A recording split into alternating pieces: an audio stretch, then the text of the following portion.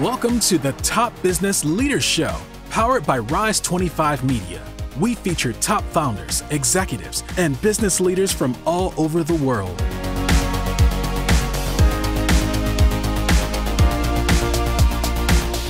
Chad Franzen here, co-host of the show where we feature top restaurateurs, investors, and business leaders. This is part of our SpotOn series.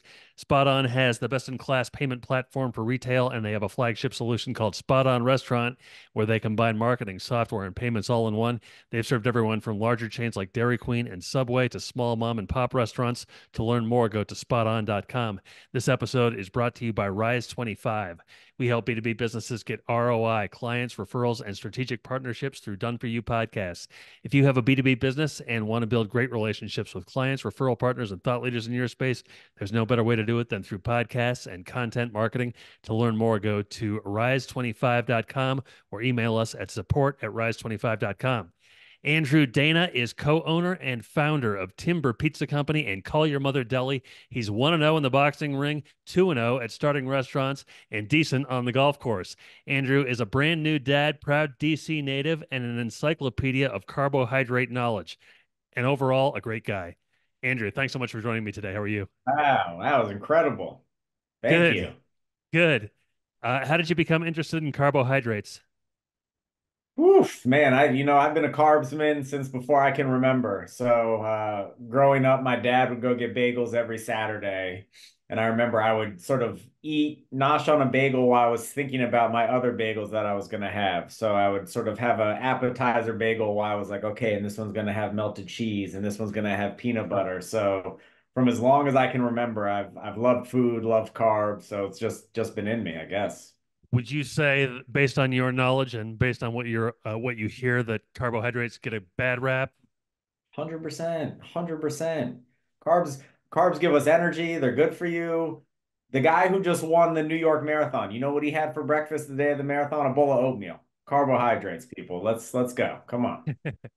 so, uh, you know, you're a founder of two restaurants. How did you kind of begin your journey in the hospitality industry? Yeah, you know, I like had odd jobs in college and stuff like that, but um, you know, I think the dream really started to grow when I was in grad school. So I went to Fordham to get my MBA, focus in marketing. And um, you know, while I was there, I was living in Brooklyn and just eating at these like world-class restaurants. Just like not only is the food great, but the experience, the ambiance, everything's just top notch. And I was like just really falling in love with the industry. So I actually wrote my capstone business school project on a pizza restaurant, thinking like, oh, that'd be a fun sort of you know pie in the sky dream one day. So I graduated, moved back to DC, and was working for an education technology company. And like, listen, good company, good job. I was making decent money, but I couldn't get the idea of opening a pizza restaurant out of my head. Just like the idea grew bigger and bigger every day. So after two years of working for this company, just one night I was like, I have to chase my dreams. Like I have to go do this.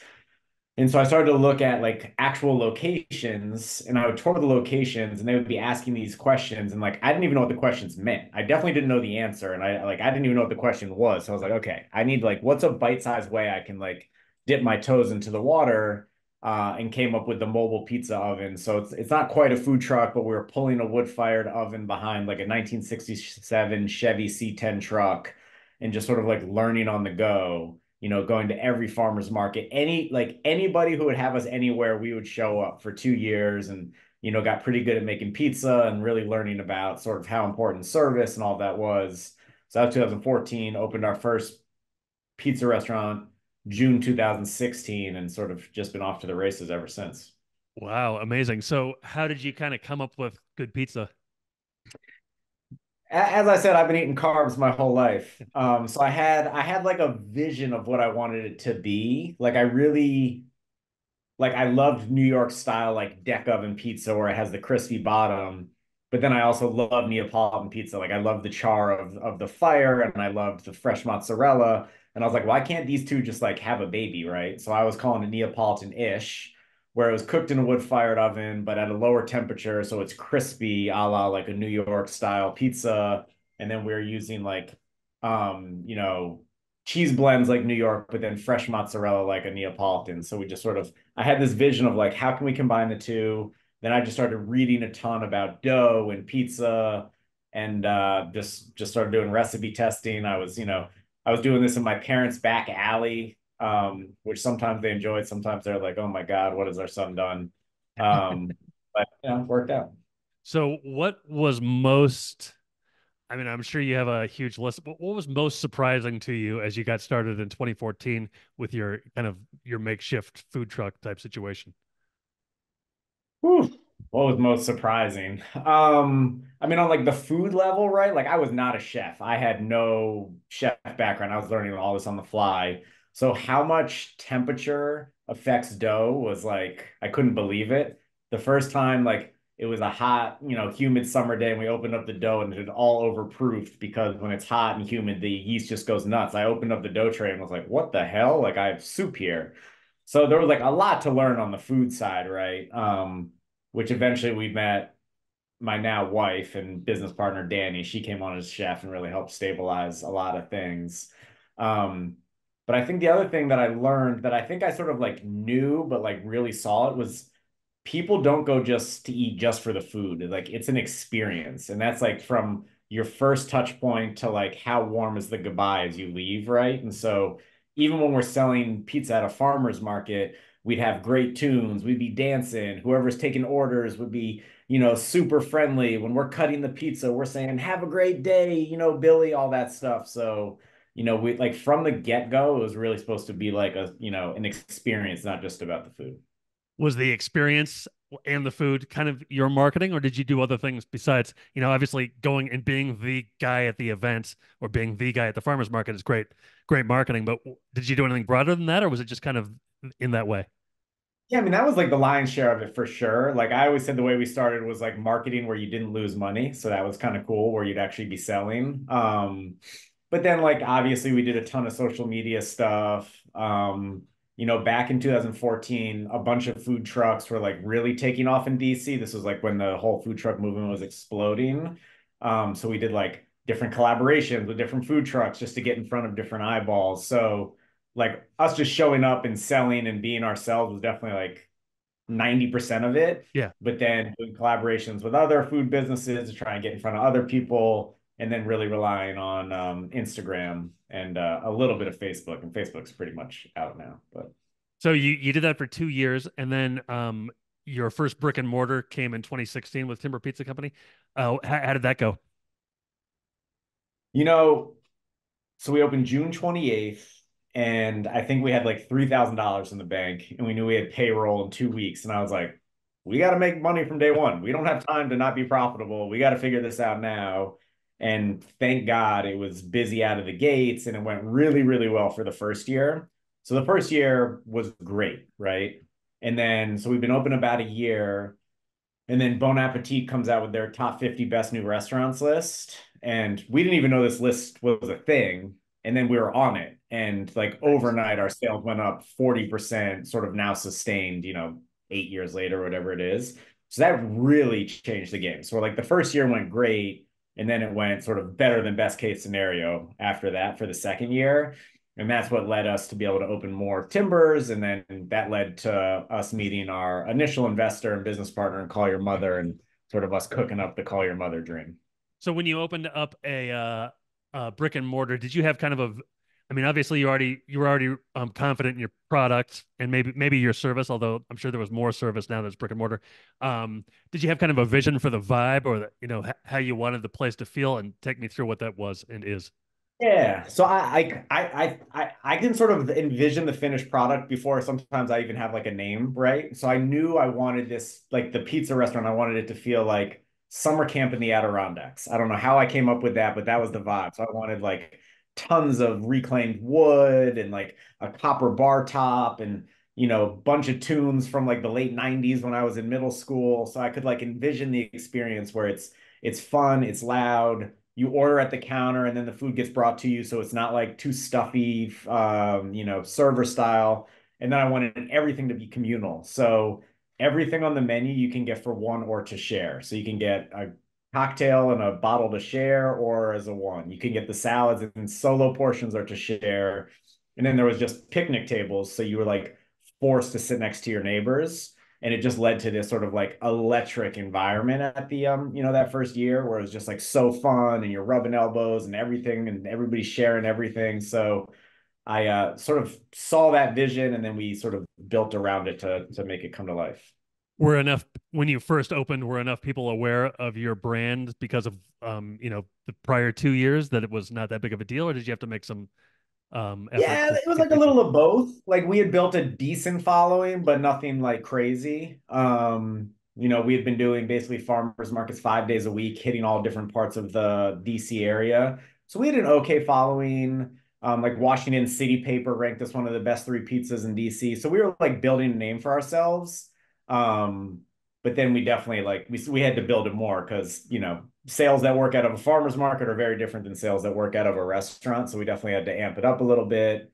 Um, and uh, you know, most of our stuff has been organic, just getting on some cool lists, Washingtonian, putting us on like the top restaurant list, all that stuff. So I think in restaurants, for sure, like the more organic the PR can be, the better. Um, and we were just very blessed to get on a lot of sort of cool organic lists, and that helped sort of grow the clientele. I'm guessing that helped then when you opened other locations and people already knew about you. For sure, for sure. So then we had, you know, a brand name around timber in the in the market. And so when we announced we were going to open Call Your Mother, like before we even opened, the sort of the reception to that was crazy, where people were so excited. I think, you know, we built up a reputation making pretty good pizza. Let's see what these what these cats can do when they do bagels. Um, and then we sort of followed the same exact game plan. So we sold at a farmer's market for basically a year before we opened the first brick and mortar Call Your Mother. And we could not make enough at the farmer's market. So we, you know, it sort of turned, it took on this life of its own. There was long lines, it was selling out. Um, and then we opened the first Call Your Mother October 2018 and it was just bananas from day one like lines down the block where we like looked at each other's each other and said, "Oh shit! Like, how are we going to make this many bagels?" Um, so then it went from being like, "Is anybody going to show up?" to like, "Oh my god, how are we going to like handle this many people and make this many bagels?" So, yeah, I, yeah, I want to talk talk to you a little bit more about Call Your Mother. But how did you, um, you know, I've eaten millions of pizzas, pizza life, love pizza, but I I couldn't come up with like an award winning pizza recipe. How did you kind of develop that? Yeah, I mean, you know, I, I think it was it started with that foundation of having like a, a crispy crust in that wood-fired oven. And then it was just like not doing too much and using great ingredients. I think a lot of times people try and do too much. And I think part of the blessing is like we weren't chefs to start out with, right? So we weren't trying to make things too chefy. We were just like, okay, zucchini's in season. I can wrap my head around that. What can we do with zucchini? And we'd like keep things pretty simple and fresh and seasonal. And then being at all the farmers markets, you're just like rubbing elbows with the best farmers and purveyors in the markets. So you're like building these great relationships with them. And so, um, you know, I, I just walk down and I say, okay, what's in season? And they say, oh, we have the best, whatever, nectarines. And we're like, okay, let's put a nectarine on a pizza. Um, and we ended up doing a pizza with nectarine, jalapenos, and bacon that sold like crazy. Um, so it was like keeping it simple, using just great ingredients, and then just you know trying to come up with some some interesting combinations. Have you always had this un- kind of entrepreneurial uh, spirit? You know, most people feel like people who aren't entrepreneurs feel like they could never open a business because they don't have everything figured out already. Have you always been like this?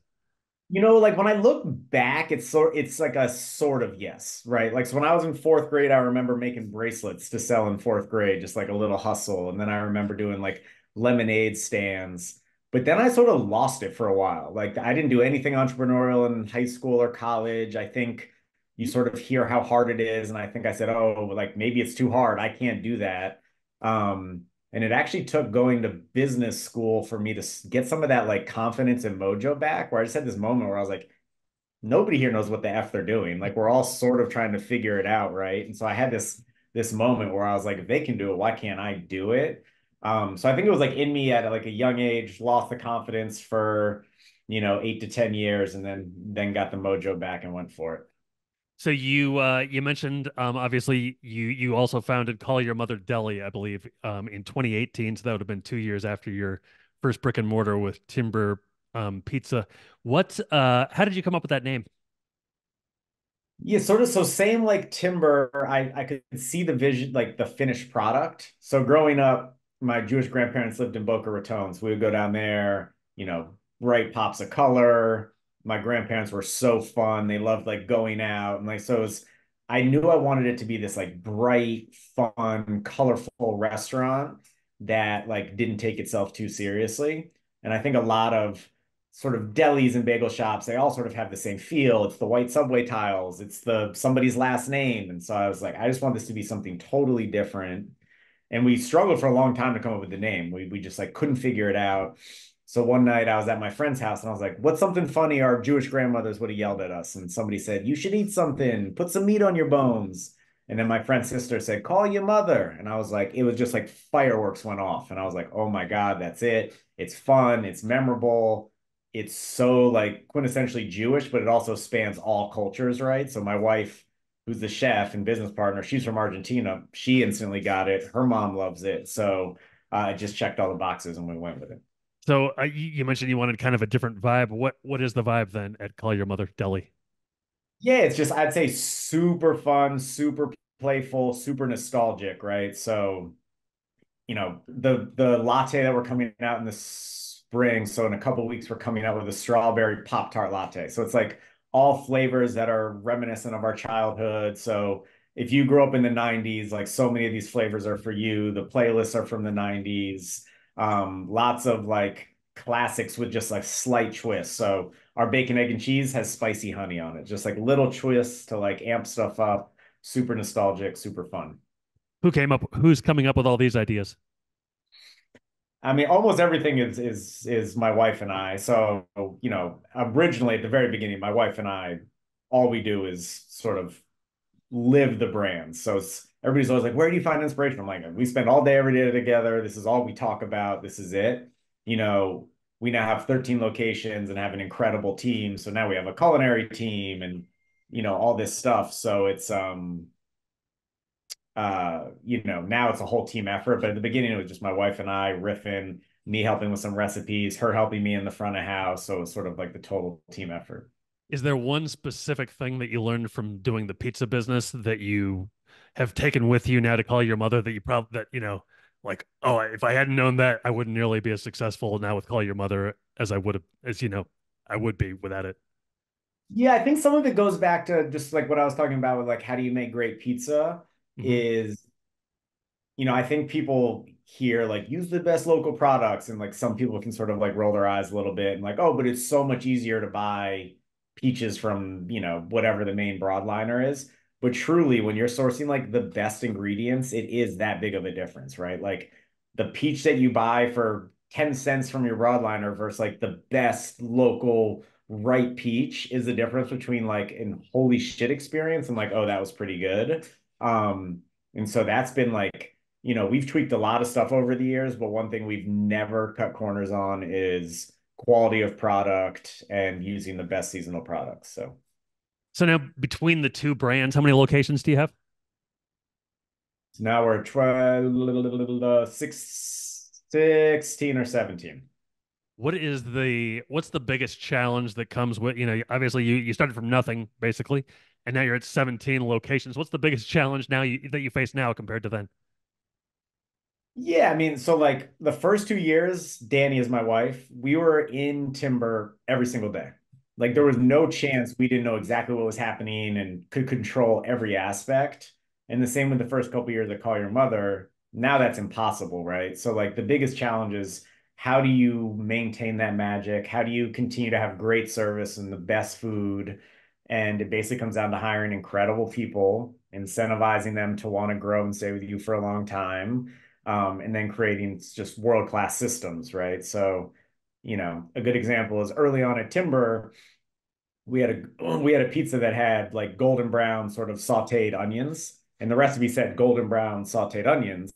Now your golden brown is very different than my golden brown, so we're like, oh my god, we have to have a picture of exactly what golden brown is. So we have learned to remove all gray area, have great systems, just don't leave anything up for interpretation, um, and then hire sort of incredible people and incentivize them to want to stick around and help improve the brand. What do you do? I was going to ask you about your culture. What what do you do to kind of keep people around, incentivize them? Uh, is there kind of a, a characteristic you're looking for when you hire great people? Yeah, I mean, it sort of depends on the position. Like at its core, we just want work to be fun every day. Like mm-hmm. this is a restaurant, you know, yes, we're trying to grow a big business, but we're not like we're not, you know, curing cancer or anything. Like this should be fun every single day.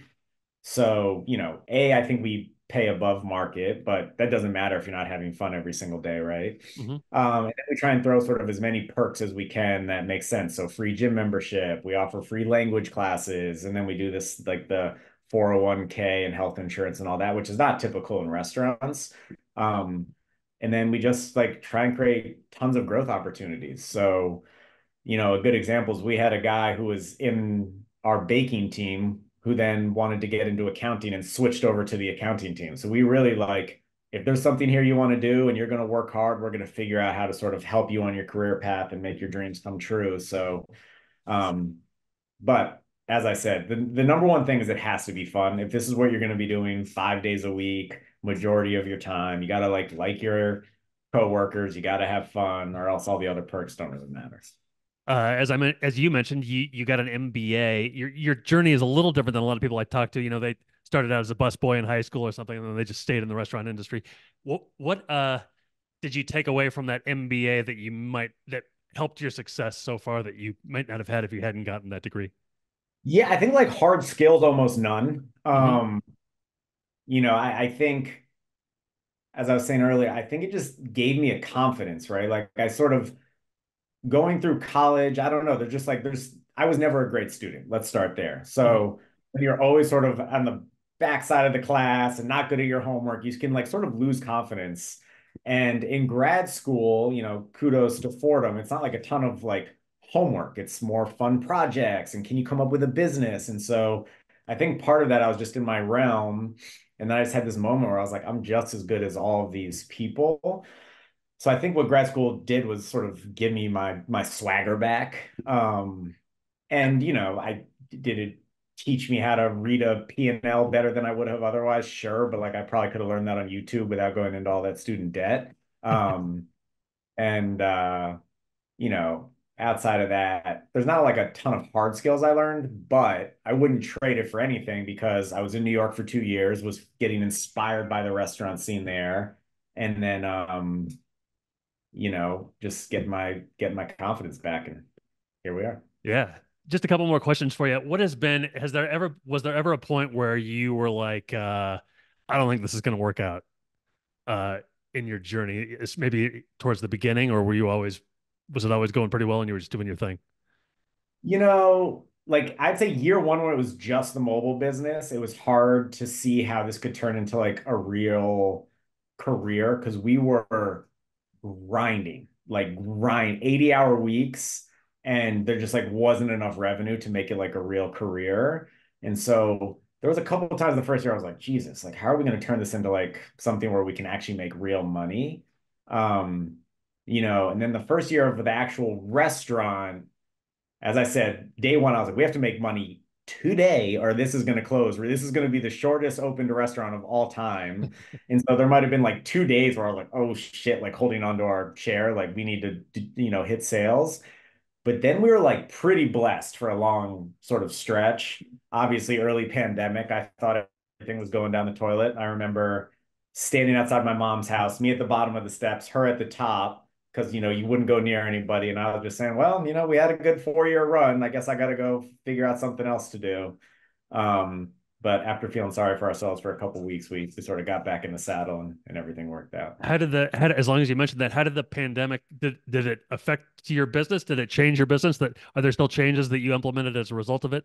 How did that affect you? Yeah you know it actually forced us to get much more efficient. So pre-pandemic we did no online ordering. Um, we just for call your mother was order in person and that's it. And at Timber was order in person or call on the phone, old school style. Um, and we thought we were sort of maxed out on throughput. And you know, during COVID, if you didn't take online orders, you were just gonna die a painful death. So we said, okay, we got to figure this out. And uh, it forced us to get much more efficient, made us realize that we could actually do way more throughput. Um, And then as the world slowly, you know, opened up and we were doing in person and online, we realized we could handle it. So it actually helped us realize we could do way more in sales without hurting sort of the product quality or the service. So, um, you know, insane to say that one of the worst things ever was actually kind of good for our business in the long run, but it did force us to get much better and more efficient. What advice would you give to aspiring entrepreneurs in the hospitality industry? I, you know, I think there's like two main things is don't rush the process, right? Like I see so many people who they start a business and they want to fast forward to sitting in the C-suite, not grinding. And I think those first couple years, you just you have to grind. You have to be in it. I'd say a new business is like a newborn baby that needs constant love and attention. Like maybe down the line it can take care of itself a little bit, but at the beginning, don't rush to be the boss and sit in the back office. Like know every single aspect of your business. Be super duper hands on because nobody's going to care as much as as you do. So that's like the the don't rush the process is like really be in it. And then the other thing like is just outwork people. Like and that's it. So when we started Timber as a mobile truck, we started out of a food incubator. So there's a bunch of other food trucks starting at the same time. And I would say every other food truck had more experienced chefs, better funding, you know, all that stuff. But they didn't work as hard as we did. They would say, Oh, you know, I'm going to take this weekend off because I want to go to the beach, or Oh, I don't want to work a double today. Where we were just like, Okay, we're going to show up every single day for two years and good things will eventually start to happen. So don't rush the process and just outwork everybody else, and you'll be surprised what can happen. Nice, very nice. Hey, uh, I have one more question for you, but first, how can people find out more about both places, Call Your Mother Deli and Timber Pizza Company? Yeah, I mean, Call Your Mother Deli, that's our Instagram handle. CallYourMotherDeli.com is our website. Same Timber Pizza Co. is our Instagram handle. And then Timber Pizza uh, is our website. Get on our emailing list. Our Instagrams are pretty fun. Check us out in DC. And then in Call Your Mother, we're also in Denver now. So we got three locations in Denver. Check us out. Oh, nice. Very nice. Um, so last question for you. When you are a customer at either one of those places, do you have like go-to items? For sure. So with Timber, it's like I ate pizza every day for the first 90 days we were open. And then I had to have a little sit down with myself. Easy big guy. So I've been like every pizza on the menu has been my favorite at some point, but now I'm in like a very basic. I just like cheese pizza or margherita pizza. I like it very basic. Um, so that's kind of boring. And then on the uh, on the bagel menu, there's really two. There's the Grand Villa, so it's a cinnamon raisin bagel, peanut butter jelly with homemade peanut butter granola. So it's like a big kid's peanut butter and jelly with the crunch of the granola. It's incredible. And then if I'm more of in a lunch mood, we have the Grandezza, which is basically a turkey melt with fresh mozzarella, pesto, and red uh, red pepper relish. Sounds pretty good. Sounds glorious. Hey, uh, Andrew, it's been great to talk to you today. Thanks so much for all of your time, your thoughts, your insights, your stories. Really appreciate it. Thank you. Anytime. So long, everybody. Thanks for listening to the Top Business Leaders Show, powered by Rise 25. Visit rise25.com to check out more episodes of the show and to learn more about how you can start your own podcast.